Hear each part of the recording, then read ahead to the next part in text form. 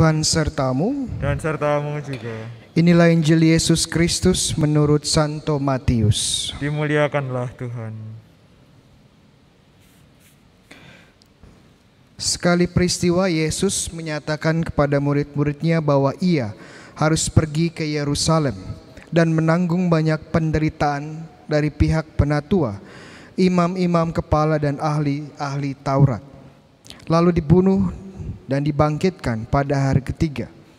Tetapi Petrus menarik Yesus ke samping dan menegur dia. Katanya, "Tuhan, kiranya Allah menjauhkan hal itu. Hal itu sekali-kali tak akan menimpa engkau." Maka Yesus berpaling dan berkata kepada Petrus, "Enyahlah iblis, engkau suatu batu sandungan bagiku, sebab engkau memikirkan bukan yang dipikirkan Allah, melainkan yang dipikirkan manusia." Lalu Yesus berkata kepada murid-muridnya, "Setiap orang yang mau mengikuti Aku harus menyangkal diri, memikul salibnya, dan mengikuti Aku. Karena barang siapa mau menyelamatkan nyawanya, ia akan kehilangan nyawanya. Tetapi barang siapa kehilangan nyawanya karena Aku, ia akan memperolehnya. Apa gunanya bagi seseorang jika ia memperoleh seluruh dunia?" Tapi kehilangan jiwanya. Apakah yang dapat diberikannya sebagai ganti nyawanya? Sebab anak manusia akan datang dalam kemuliaan Bapaknya diiringi malaikat-malaikatnya. Pada waktu itu ia akan membalas setiap orang setimpal dengan perbuatannya. Demikianlah Injil Tuhan. Terpujilah Kristus. Saudara-saudariku yang terkasih, selamat pagi semuanya. Selamat datang kembali ke Gereja Redemptor Mundi bagi yang datang pertama kali ya. Minggu lalu kita baru saja mendengarkan sebuah cerita dari Injil bagaimana Santo Petrus, Santo Simon Petrus mengatakan bahwa Yesus adalah Mesias anak Allah yang hidup. Waktu dia ditanya sama Yesus, "Siapakah aku ini?" Terinspirasi oleh Roh Kudus, dia menjawab dengan benar. Dan dia mendapatkan banyak hal istimewa dari Tuhan Yesus karena jawabannya ini. Namanya berubah atau dirubah oleh Yesus. Jadi dari Simon menjadi Petrus. Petrus artinya apa? Batu karang. Kenapa batu karang? Karena dia akan menjadi fondasi dari dari apa? Dari rumah tetangga bukan ya? Dari gereja. Tidak hanya mendapatkan status atau identitas misi baru sebagai batu karang, tetapi dia juga mendapat kunci. Ya. Kunci apa? Kunci kerajaan surga. Dan kita tahu kemarin minggu lalu saya terangkan mereka yang mendapat kunci kerajaan adalah perdana menteri, orang kedua setelah raja. Ya. Tetapi hari ini, minggu ini, yang merupakan kelanjutan dari Injil minggu lalu, kita lihat terjadi sebuah perubahan drastis, ya, sebuah kejadian yang berubah secara dramatis, ya. Mungkin lebih dramatis dari drama-drama uh, Korea ya di sini. Apa yang terjadi? Apa yang terjadi? Hari ini Petrus saat mendengarkan bahwa Yesus akan pergi ke Yerusalem untuk menderita, tiba-tiba apa yang dia lakukan? Dia menegur, ya, dia menegur gurunya sendiri dan bilang tidak akan terjadi seperti yang dikatakan Yesus. Tapi reaksi Yesus justru lebih keras lagi. Dia bilang apa? Enyahlah engkau setan. Ya. Kata yang digunakan di terjemahan bahasa Indonesia ya itu iblis, tetapi kurang tepat karena dalam bahasa Yunani yang digunakan adalah satanas, setan. Engkau adalah batu sandungan bagiku. Wah, keras sekali ya kata-kata Yesus. Ya. Minggu lalu kita lihat Simon adalah Petrus. Sekarang dia dipanggil setan. Minggu lalu Simon adalah batu fondasi. Sekarang jadi apa? Batu sandungan. Minggu lalu Simon diilhami oleh Roh Kudus. Menjawab dengan benar. Sekarang dia diilhami oleh siapa? Ya dirinya sendiri. Dia berpikir tidak seperti Allah tetapi seperti manusia. Bagaimana perubahan terjadi? Mungkin saya pikir Santo Petrus ini Simon Petrus merasa sudah spesial. Merasa sudah penting. Oh, saya mendapatkan kunci. Saya ini fondasi. Sekarang saya bisa menegur Tuhan Yesus. Lupa kalau dia itu juga seorang murid. Makanya Yesus membalikan posisinya. Kamu itu tetap seorang murid. Jangan lupa hal itu ya. Kalau kita teliti, kalau coba kita teliti, ada yang sedikit menarik saat Yesus dengan tegas dan bahkan cenderung keras mengatakan bahwa Petrus ini adalah setan. Kadang-kadang berpikir kenapa ya Tuhan Yesus memanggil Petrus dengan sebutan yang sangat keras ini. Setan kamu. Ya. Tapi kalau kita perhatikan dalam konteks kita sehari-hari, kadang-kadang kalau kita ya ada seorang teman atau seorang sahabat ya, karena pertengkaran kecil atau karena sahabat ini tidak cocok dengan kita atau sedang mengganggu kita, reaksi pun kadang-kadang ya kita bilang ke dia, "Wah, kamu setan." ya.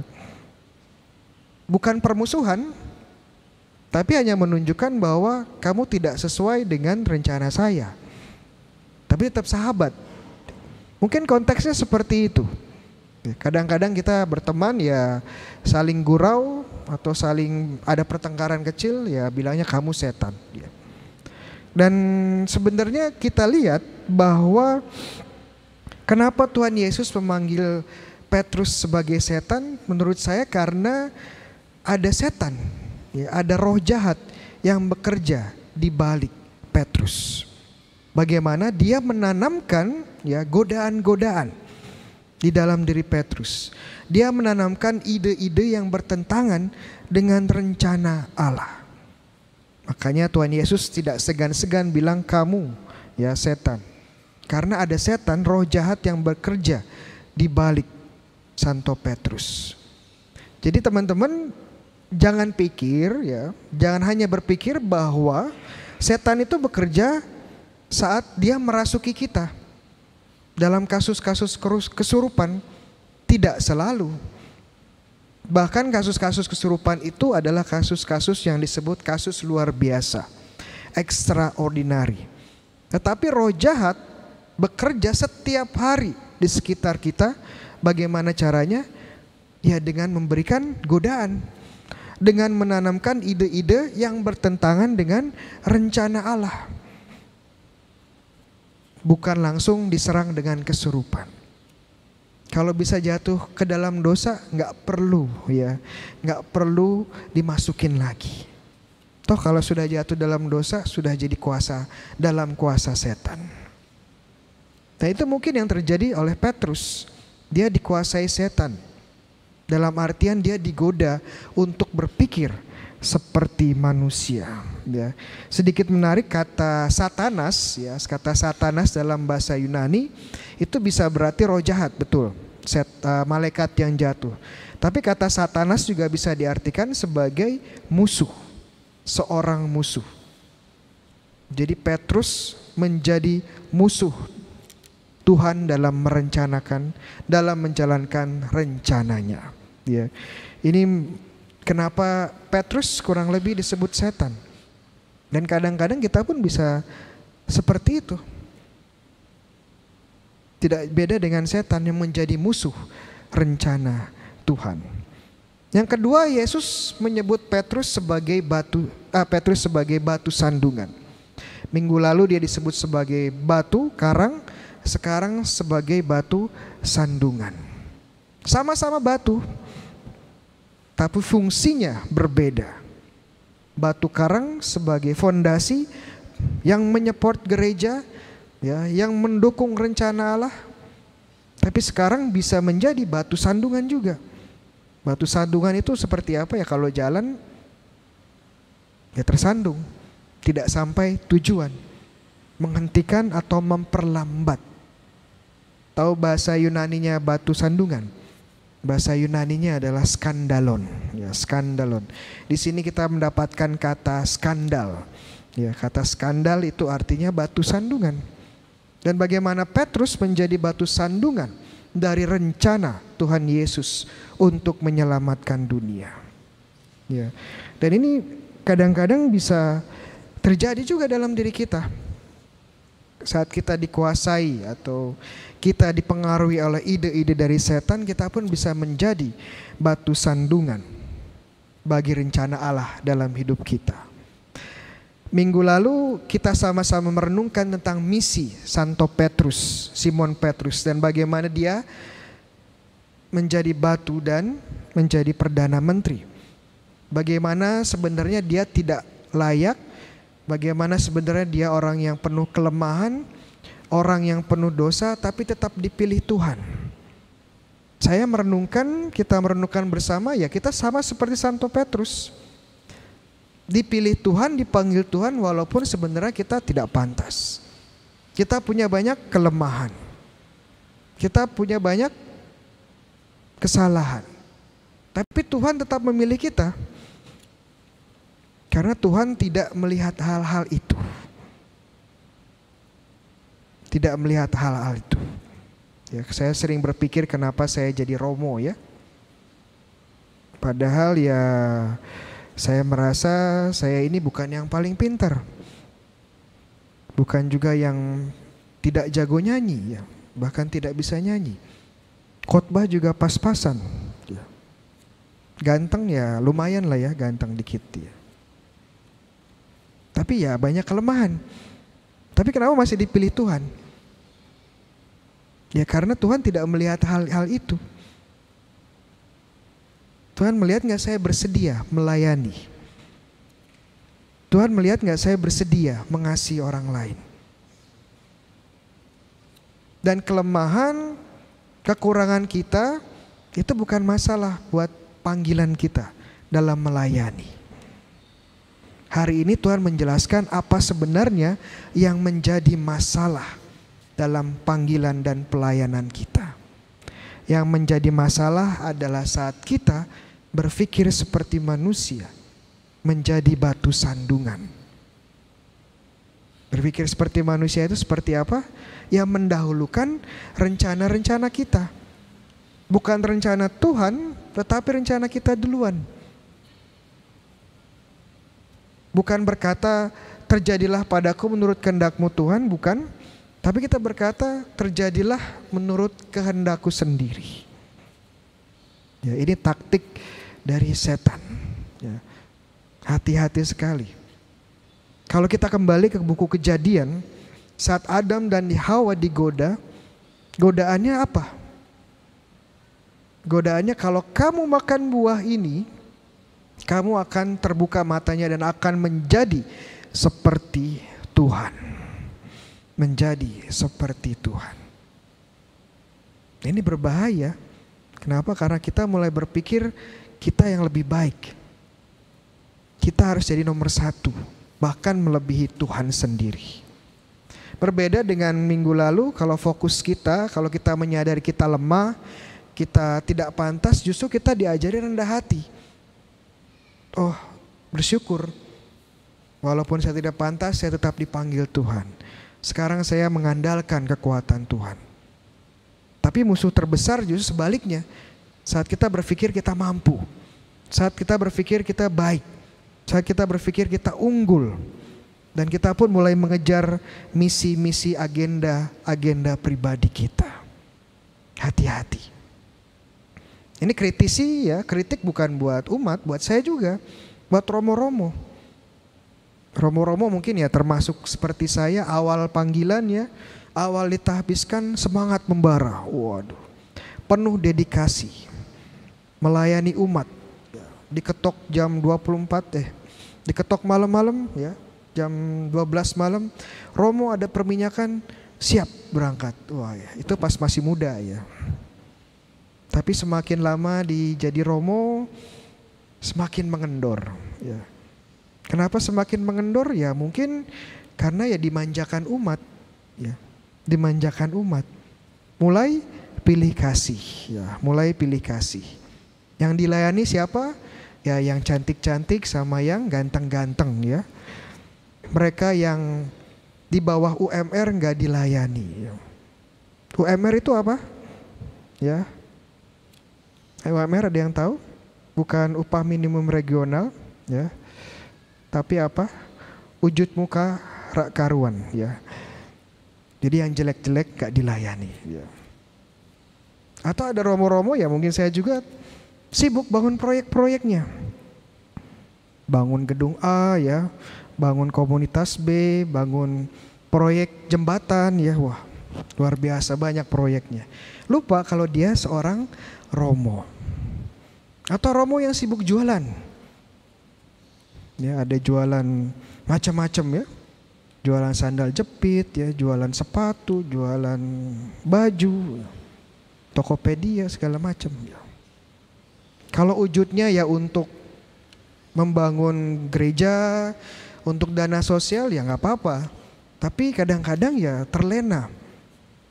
Jualan ya untuk memperkaya diri sendiri. Tentunya yang paling parah adalah saat dia menjual saat kita menjual Tuhan sendiri untuk memperkaya diri kita. Sangat berbahaya, sangat berbahaya. Apakah hanya Romo yang bisa seperti itu? Tidak, ya. Umat awam juga bisa, ya. Lupa, kadang-kadang kita ini orang tua sibuk dengan ambisi pribadi, sibuk dengan karir kita masing-masing. Dan kadang-kadang sibuk juga dengan pelayanan.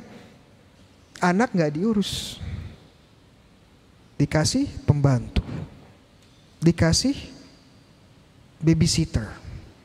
Kalau ribut dijejelin HP. Kalau nangis, iya. Apa yang terjadi? Jangan heran kalau anak tumbuh tidak mengenal kasih sayang. Anak tumbuh menjadi anak yang pemberontak. Anak tumbuh menjadi anak bermasalah. Ada seorang ibu Romo, saya sudah lama melayani di gereja, tapi kok anak saya seperti ini ya.